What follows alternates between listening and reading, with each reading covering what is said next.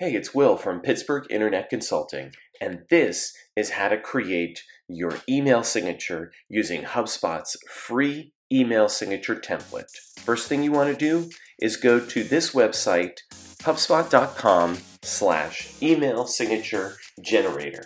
You want to select your template first, and in this example, we selected template 6. Once you've selected your template, go back up to the top menu, and in this square, start entering your signature details.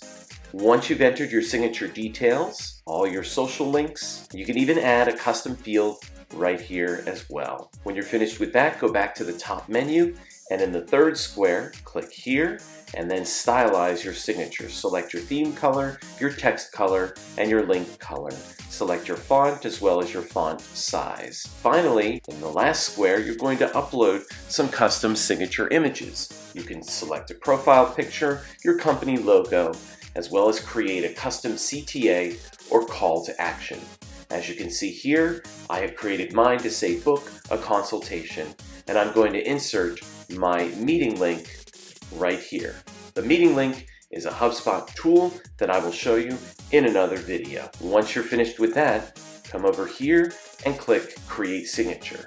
If you're not happy with what you have and you want to start all over, click here, Clear All Input Fields. But for now, we're just going to create the signature. And now you're going to confirm your signature It's going to ask you about a little bit about your company. And once you're finished with that, you're going to confirm and submit your information. From there, you will be able to download your signature and then upload your signature within your own HubSpot portal. And I'll show you how to do that in another video.